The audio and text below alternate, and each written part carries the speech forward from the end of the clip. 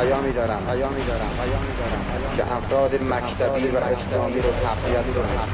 من من برمیگردم برمیگردم به منطقه منطقه به منطقه که سنگر خالی نباشه خالی نباشه من برمیگردم برمیگردم برمیگردم. تا اون جایی که نفس دارم نفس دارم بکوشم بکوشم. این مزدوران عراقی رو از کشور عزیز ما بیرون و در عراق در عراق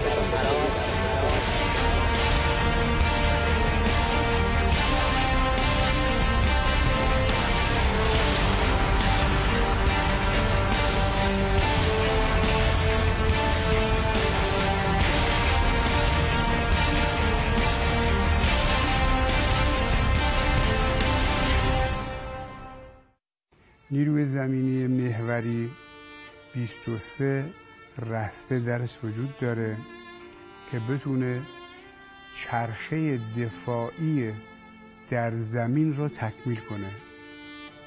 یکی از این تسلیحات و تجهیزاتی که شتاب میده به عملیات های نیرو زمینی و پشتیبانی مستقیم نزدیک می‌کنه یگانه های زمینی بالگردهای هوانیروز هست.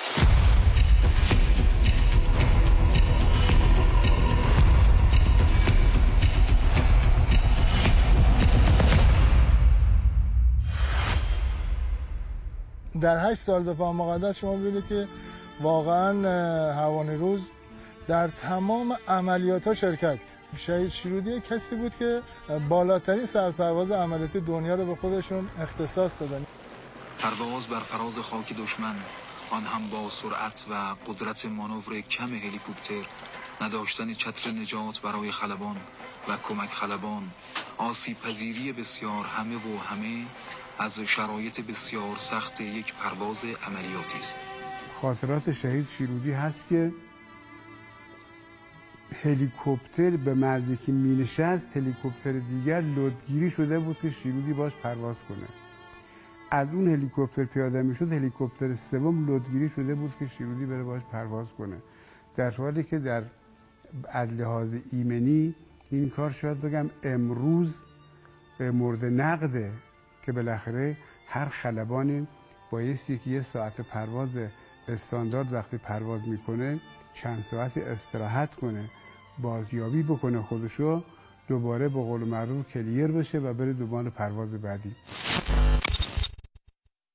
وقتی ما بخوایم هلیکوپتر رو مهمات بزنیم یا سوخت بزنیم هلیکوپتر ما باید خاموش بشه.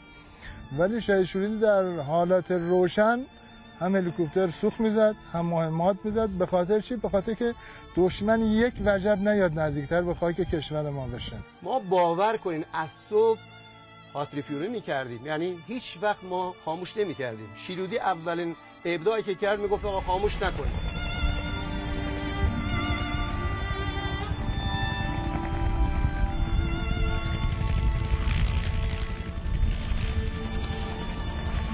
بعد ویژگی خاص شهید رو در تصویر سازی هاش ببینم تصمیماتی که در لحظه می‌گرفت و خب نمونه هاش حالا من شاهد بودم. از جمله نمونه تصمیماتش در پادگان قلعه شاهید فردای روزی که ایران بمبارون شد. عراق حمله کرده بود بمبارون کرده بود. وضعیت بسیار نابسامانی بود. آنچه که در ساختار سلسله مراتب در لحظه فرود ما در پادگان قلعه شاهید دستور داده شده بود برابر اعلام فرمان محترم پادگان در اون زمان به جناب شیرودی که آقا شما هم تخلیه کنید دشمنم داره بیاد دشت زهابه و قریب می‌رسه به این پادگان و این پادگان فقط لطفی بکنید انبار مهمات ما رو بزنید دست اون رو نیفته شاید شیرودی با این نظر فقط نکرد علا رقم که در سلسله مراتب حتما مصممه ای داشت که آقای فرمانده محترم پادگانی رو بفرمودن ایشون گفت خیر اگه قرار ما مهمات رو بزنیم خب مهمات رو بریم رو عراق بریزیم. با یه مدیریت خاصی هلیکوپترهای موجود در اونجا رو تبدیل به این یگان تهاجمی کرد. کاری کردن که این چند تا فروند کبرا در فاصله های ده دقیقه به ده دقیقه آباد اولیات می شده.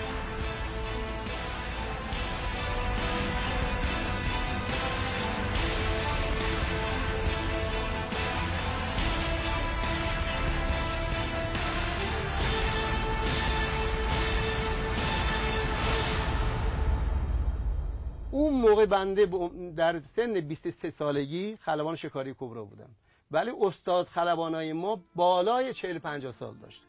با چه تجربه شیرودی ها پرواز کردن؟ با چه تجاربی شهید کشوری ها سوئیلیان ها حسن ستاری پرواز کردن؟ ما تجربه جنگی نداشتیم که. ما گواهی نامه رو گرفتیم اومدن تو پایگاه جنگ اتفاق افتاد. شیرودی خلبانی بود که دشمن پیدا می‌کرد می‌زد. ما اطلاعات نداشتیم که. تونستیم عملیاتی رو در منطقه انجام بدیم و تا کنون تعداد زیادی از تانکاشون از من ببریم. شیرودی به نوبه خودش یک شکارچی بی‌نظیر تانکه. یعنی شاید بگم تا امروز کمتر خلبان تونسته اینجور اسمی از خودش در تاریخ به یادگار بذاره که تانک های دشمن را با حوصله یکی یکی یکی در این محور کور موش و سرپل ها از روی زمین چیده واقعا. شیرودی دو تا بصیرت داشت. یکی بصیرت درونی که واقعا انسان ها سیاست مدارایی که خیانت می‌کردن مثل بنیستر شناخته بود. خدا رحمت کند دکتر چمران خدا هزاران بار رحمت کند. همیشه ایشون میومد خلمانه رو بوس می‌کرد پیشونش بعدا پرواز می‌کردیم. یه بصیرت درونی داشت. بصیرت درونی همون دید ایشون بود. لحظه دشمن تکون می‌خورد می‌فهمد دشمنه. الحمدلله. این روحیه شما و تلاشی که کردید و زحماتی که همواره کشیدید و در این عملیات هم محسوس بود توانسته تاثیرات خودش رو بگذاره. شهید شیرودی بزرگوار یک سخنرانی انقلابی داره. ای کاش مثلا شما دسترسی به این نوار پیدا بکنید و در این برنامه واقعا از استفاده بکنید. پیامی دارم که افراد مکتبی و اسلامی رو تقویت کنند. و بدونند که ارتش مکتبی هیچ وقت شکست نخواهد خورد.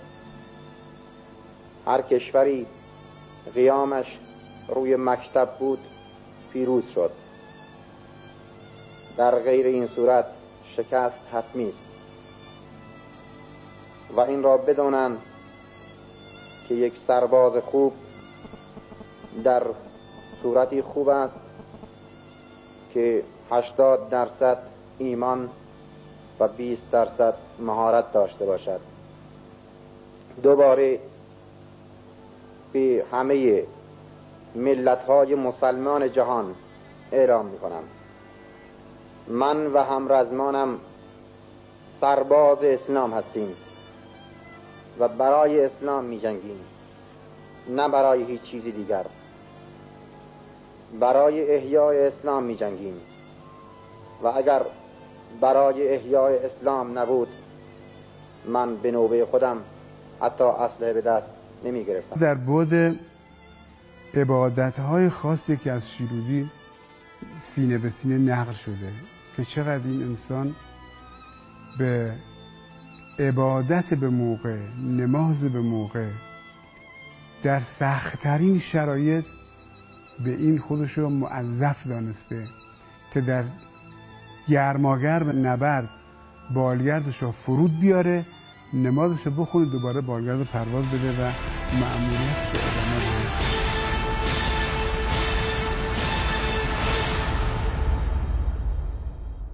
شیرود کشاورزاده بود مثل ما روستایی بودن.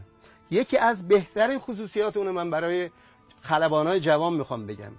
شیروده در فصول کشاورزی به پدرش کمک می‌کرد. یه روز ماشین منو گرفت و رفت بعد مدتی برگشت دیدم که ماشین تصادف کرده. گفتم اکبر این چه وضعیه؟ بعدش فهمیدم خب رفته بود برای کشاورزی پدرش کمک کرده بود. من دستش دیدم حالت تاول زده بود گفتم این چیه دیگه؟ گفت رفتم بی زدم. کشاورزاده بود شیرودی. شیرودی یه قهرمانه به نظر من. یه قهرمانیه که شاید امروز ماهاشون که در صحنه با هم هستیم نتوانیم واژگان پیدا بکنیم که امثال شیرودی را به جامعه معرفی بکنیم ولی من مطمئن هستم تاریخ در آینده شیرودی را به عنوان قهرمان در سینه خودش ثبت و ضبط خواهد کرد. سربان شیرودی یک خلبان هوانیروز بود. انسانی بود که همیشه آماده شهادت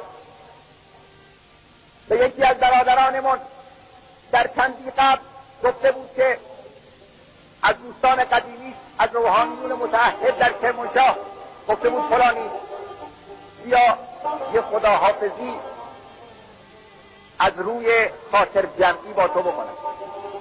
زیرا می‌دونم که باید شهید در خاطرات این شهدای هوانی روز می‌خونیم که خود همین شهید شیرودی بزرگوار که این برنامه هم تقریبا به یاد او تکمیل میشه و شهدای دیگر بودن که خیلی از شاید بگم دستورالعملهای مدون که برای ایمنی در هوانی روز پیش بینی شده بود را اینها واقعا مجاهدانه و جهادگرانه شاید بگم مورد بازنگری قرار دادن. شهید شیرودی واقعا یک شهید مشاخص ملی ماست و زمانی که شاید جایی که رزمندگان ما اونجا واقعا نیاز داشتن شهید شیرودی با صدای بالگردش امید بخش تمام دل رزمندگان ما بود.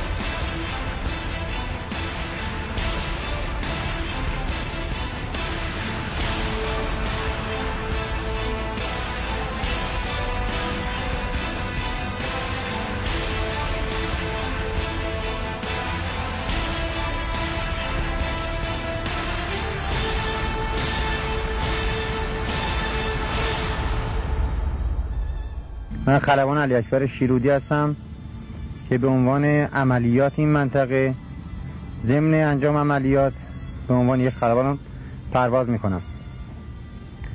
و برادرانی که در اطراف من هستن کلان پرسنل هوانی روز هستن از درجه داران و همافران و یاران و افسران که با کمک همگی اینها ما تونستیم از روزی که وارد این منطقه شدیم که بتونیم این جانیا رو از کشور عزیزمون بیرون کنیم و برای احیای اسلام و حفظ کشور اسلامیمون کاری انجام بدیم. از روزی که وارد اینجا شدیم عملیات سختی رو داشتیم که تونستیم با همکاری همه برادرانمون این عملیات رو به نحو احسن انجام بدیم.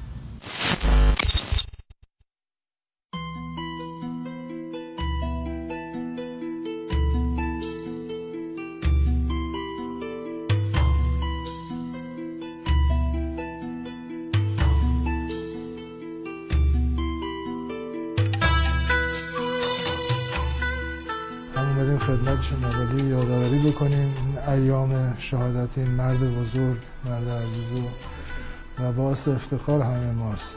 وقتی که خود حضرت آقا اقتدا می‌کنه ایشون در نماز یا صحبت های خیلی جالبی حضرت آقا در مورد ایشون میفرماند خب این نشانه که این یک مرد الهی و نورانی بود یک مرد عادی نبوده. این شهدا ما خب شهدا شاخصن و خود حضرت امام هم در خصوص شهید شیرودی جمله جالبی فرمودن این که شیرودی آمرزیده شد یعنی خیلی جمله پرمغز پرمعنی است. این حضرت امام برای هر کسی این صحبت نکردن شیرودی یک خلبان معمولی نبود که.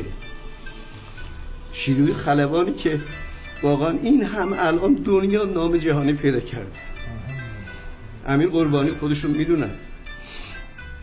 خلبان های ما امروز واقعا همشون سهیلیان ها جمشیدیان ها کشوری ها شیردی ها رو اولو قرار دادن تبریک جانی باید بگیم به شهید و همچنین به ابوذر عزیز. ابوذری که خودش خلبانه و خودش از واقعا یعنی حرفه پدر دنبال کرد. این نشان میده که این خانواده غیرتمندن. این خانواده ولایت مدارن پا در رکاب ولایتشون بوده و الحمدلله هستن. این نشان از اینه. به لحاظ اینکه خب پدر خلبان بودن ما هم از کوچکی در جمع دوستان ایشون از جمله خود امیر عزیز دوستان دیگه بودیم و این دوستان عزیز رو تو این لباس می‌دیدیم بالاخره باعث شد که ما ناخواسته یا خواسته تمایل پیدا کنیم که توی این حرفه باشیم خدمت جناب علی باشیم سلامت باشیم باشیم کنم سلامت بده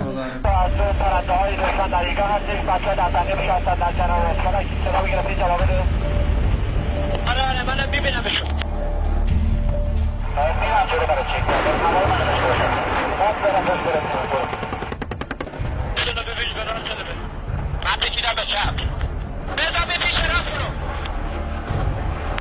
تو بتونی بزنی راجر ما یکم کم به سمت راست ما روی ارتفاعات دود توپخانه هستیم بانشون کرده به مردم عزیزم باید عرض کنم که نیروی زمینی ارتش جمهوری اسلامی ایران در طول 8 سال دفاع مقدس 46 هزار شهیدی رو تقدیم کشور عزیزمون کرد که هر کدوم از این شهدا همچون ستاره های نورانی در آسمان این کشور می درخشند و امروزه ما با نور این شهدا مسیر خودمون رو مشخص می‌کنیم و حرکت می‌کنیم. اغلب فرزندان بزرگوار این شهدا در این مقطع با وجود اینکه زمانی که پدران خودشان را در زمان جنگ از دست دادند در سن طفولیت قرار داشتند اما به برکت خون این شهیدان امروزه به جاهای خوبی رسیدند و در جامعه امروز نه تنها به شخص موفق بودند بلکه نقش مؤثری در جامعه داشتند. ما امروز رسیده محضر سرکار خانم شیرودی دختر قهرمان ملی ما. شهید شیرودی عزیز. وقتی که صدام نام شیرودی رو میشنوید شاید لرزه بر اندام صدام میافتاد. چرا؟ چون که در دشت زهاب شیرودی تمام تانک ها و گردن های تانک عراق که بسیار گردن های قوی بودن شهید شیرودی عزیز ما اینا رو ساقط کرد منهدم کرد.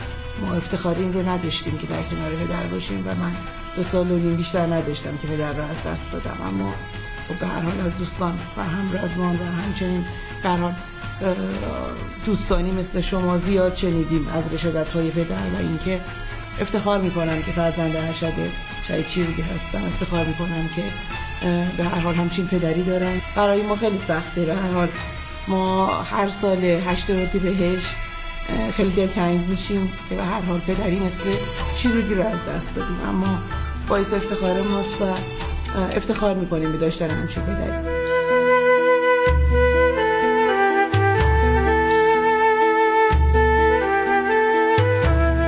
اگر تونستیم با شهدای عزیزمان انس برقرار کنیم الفت برقرار کنیم و با اونها معنوس بشیم بدانیم که راه را گم نکردیم و در مسیر اونها داریم حرکت می‌کنیم.